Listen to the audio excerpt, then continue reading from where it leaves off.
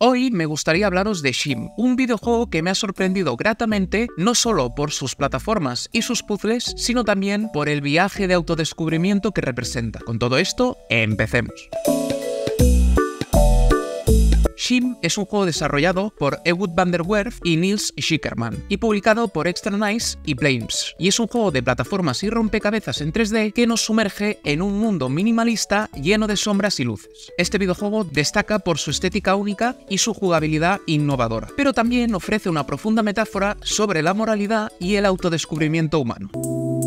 Como os digo, Shim se destaca por su mecánica central de moverse de sombra en sombra. Todo esto para evitar la luz, que representa la muerte inmediata para la criatura de sombra que controlamos. Los niveles están diseñados para introducir gradualmente nuevas mecánicas y desafíos, lo que permite a los jugadores adaptarse y mejorar sus habilidades de manera intuitiva. El juego cuenta con un total de 70 niveles, cada uno presentando obstáculos y rompecabezas que requieren ingenio y destreza para ser superados. Dichos escenarios pasan por toda una serie de ubicaciones dentro de la ciudad donde transita nuestro protagonista, zoos, supermercados, hospitales e incluso un bloque de pisos. Como os digo, la cantidad de escenarios que vais a visitar es pasmos. El diseño de niveles de Shim es fundamental para su éxito. Desde los primeros niveles, el juego introduce las mecánicas básicas en un entorno seguro, permitiendo que los jugadores experimenten y dominen los controles sin enfrentar grandes penalizaciones por errores. A medida que los jugadores avanzan, la dificultad aumenta de manera gradual, introduciendo sombras móviles, obstáculos dinámicos y entornos más complejos que requieren planificación estratégica y precisión en los saltos. Estos obstáculos dinámicos van desde motos o coches, incluso cinta transportadora y en última instancia animales. La progresión de dificultad en Shim está cuidadosamente calibrada. Cada nuevo nivel introduce un reto adicional que obliga a los jugadores a aplicar las habilidades aprendidas de manera creativa. Además, al completar la primera partida, los jugadores pueden desbloquear un modo permadeath donde el doble salto y los puntos de control se desactivan, y cualquier fallo puede tener consecuencias permanentes. Este modo no solo aumenta la tensión y el realismo del juego, sino que también refleja la realidad de que un error puede significar la imposibilidad de arreglar el futuro. Me explico. Al principio de la historia, debido a que nuestro humano está sometido a mucho estrés y a malas decisiones, se separa de su sombra. Y esta tendrá que recorrer 70 niveles para ayudar a encauzar la vida de este humano y que recupere su niño interior. Todo esto pasando por gran cantidad de escenarios donde veremos a nuestro humano divagar, comer mal, y tener malas rutinas hasta que éste sea capaz de enfrentar su destino. Por nuestra parte, nosotros que somos el Shin, nos embarcamos en una travesía para reunirnos con nuestro humano. Este viaje está lleno de obstáculos y desafíos que el Shin debe superar saltando de sombra en sombra, evitando la luz directa que representa la exposición y el juicio. Decir que el doble salto es tremendamente necesario y que durante el juego aprenderéis a saltar con mucha precisión entre sombras, ya que os puedo asegurar que si medís muy bien en las distancias, el juego es perfecto para ser speedruneado. Además de todo eso, en muchos de los niveles hay coleccionables que son tremendamente necesarios para platinar el juego. Estos pueden formar parte de la jugabilidad del nivel o no, me explico. A veces podéis encontrar una silla y esa silla es tremendamente necesaria para que haga una sombra y podamos llegar al final del nivel. En tanto que el Shim empieza un nivel en un sitio y siempre hay un objeto final al que debemos adherirnos para pasar al siguiente nivel, ya sea una abuela con un carrito, un niño con una bicicleta, un coche o un autobús. Todo esto durante 70 niveles hasta poder llegar a la conclusión final del juego. En este proceso, como os digo, el Shin puede adherirse temporalmente a otros humanos y poseer objetos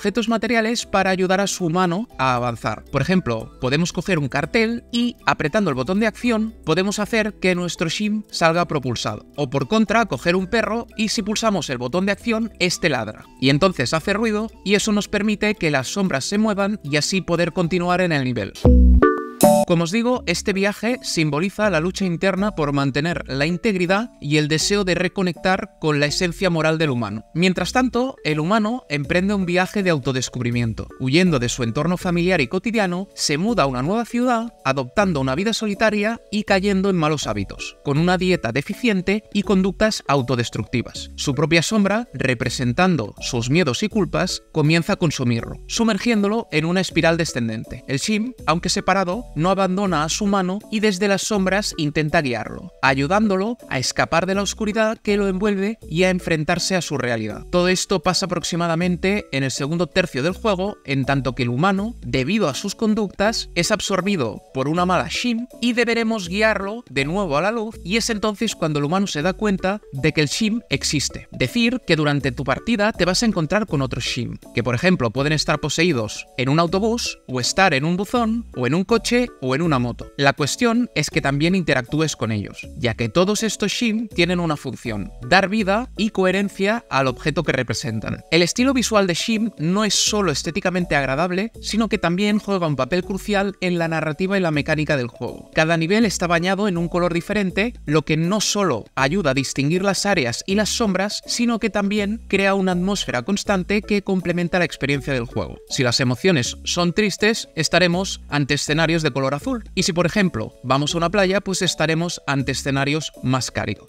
Además de todo eso, en el menú de configuración puedes configurar para que las líneas de marcado sean el doble de grandes o que sean más finitas. Yo os recomiendo que las pongáis más finitas porque así es más fácil delimitar los saltos que puede hacer el Shim. Como os digo, los entornos están llenos de detalles pequeños y animaciones sutiles, como sombras de árboles, bicicletas estacionadas y la actividad diaria de las ciudades, lo que añade una capa de inmersión y realismo al mundo abstracto del juego. Hay muchísimas mecánicas que puede ejecutar el Shim, pero las más importantes, por ejemplo, son activar un semáforo para dar paso a los humanos y así poder adherirse a su sombra, o como os digo, en el nivel de la playa podemos pasar de surfero en surfero e incluso si hay una pelota de playa la podemos usar para navegar por el nivel. Y finalmente, en el último escenario, incluso podemos poseer objetos tales como pelotas o un camión de bomberos que lo necesitamos sí o sí para poder escapar y reencontrarnos con nuestro humano. Decir que hay mil formas de afrontar el nivel. Al principio os vais a encontrar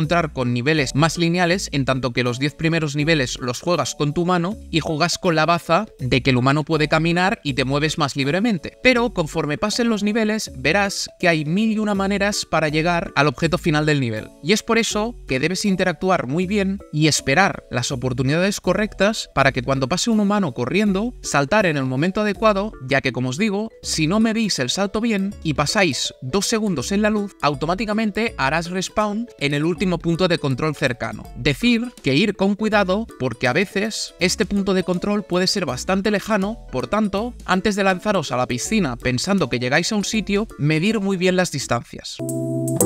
En definitiva, Shim es un juego que no solo ofrece una experiencia de juego rica y desafiante, sino que también invita a la reflexión sobre la moralidad y el autodescubrimiento humano. El diseño de niveles meticulosamente ajustado y la curva de dificultad bien calibrada aseguran que los jugadores se mantengan comprometidos y desafiados a lo largo de la aventura. Para nosotros es un 9 sobre 10, ya que sus 4 horas de duración nos han encantado y creemos que el ingenio a la hora de hacer los niveles, pero también por transmitirnos una idea simple, en tanto por su estilo de dibujado, pero a la vez de cómo un humano renuncia a sus creencias hasta que finalmente ya no es el mismo y tiene que hacer un viaje de autodescubrimiento para volver a sus raíces y encauzar su vida, toda esta experiencia en general nos ha encantado. La historia de Shim no es solo un viaje en un mundo de sombras y luces, sino una reflexión profunda sobre la moralidad, el autodescubrimiento y la integridad personal. Nos recuerda que a veces, aunque podemos perder el camino y separarnos de nuestra esencia moral, siempre hay una oportunidad de redescubrirse y reconciliarte con tu propia Shim, es decir, con tu propia sombra, para crecer, prosperar y avanzar.